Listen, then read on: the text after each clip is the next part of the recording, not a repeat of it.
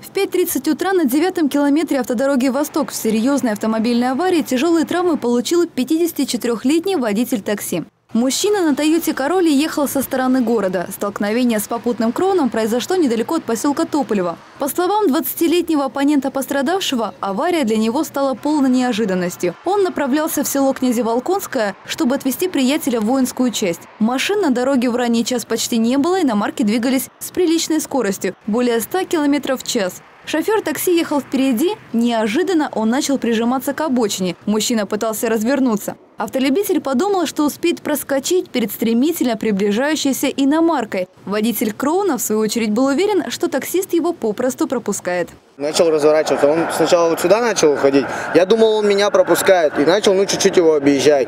И все, и получается, и он резко начинает, хлоп, разворачиваться. Я сюда вот уходить начинаю, и все, ну, как бы, вот все, что получилось. От мощного удара автомобиль такси развернуло. Иномарку отбросила на встречную полосу движения, после чего машина вылетела в кювет. Шофера Toyota Corolla выбросила из салона. Хабаровчанин выжил, но получил серьезные травмы. Красноречивее слов об этом говорили пятна крови в салоне иномарки. Автолюбителя в экстренном порядке доставили в стационар. Медики диагностировали у пострадавшего черепно-мозговую травму. В глаз водителю такси попал осколок стекла, из-за чего мужчина лишился почти 50% зрения. Оппонент, водитель Крона, в аварии не пострадал. Его пассажир немного порезал лицо осколками стекла, однако опасных травм не получил. Расследованием этой аварии займется отдел дознания. С места происшествия Юлия Рябцева, Анастасия Манина и Павел Рогатин.